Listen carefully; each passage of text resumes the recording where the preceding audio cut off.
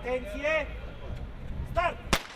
Concurenții au alergat aproximativ 3 km de la monumentul eroilor pompieri de pe calea 13 septembrie până în Parcul Izvor. Ștefan Ciochin are 55 de ani, iar la categoria la care s-a înscris a avut de înfruntat adversarii foarte bine pregătiți.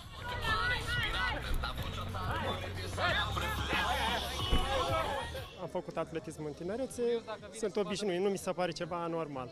Deci multe curse se câștigă la finish sau pe ultime me- metri, cum se spune.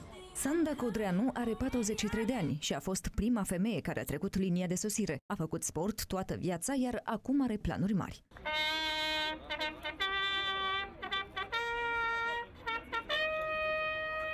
În fiecare seară ies pe pistă și alerg cât pot și nu știu dacă se vede, sunt puțin lovită la picior și am alergat așa, da.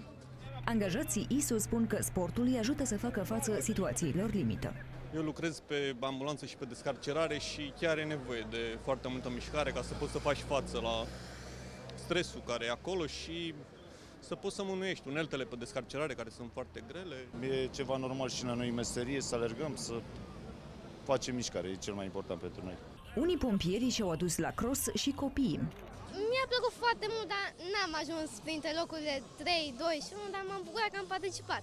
Anul acesta se împlinesc 166 de ani de la bătălia din dealul Spirii. Pompierii, companii de pompieri București, uh, au luptat pe acest deal din uh, fața noastră pentru năzuința lor de libertate, aprinzând uh, flacăra Revoluției de la 1848.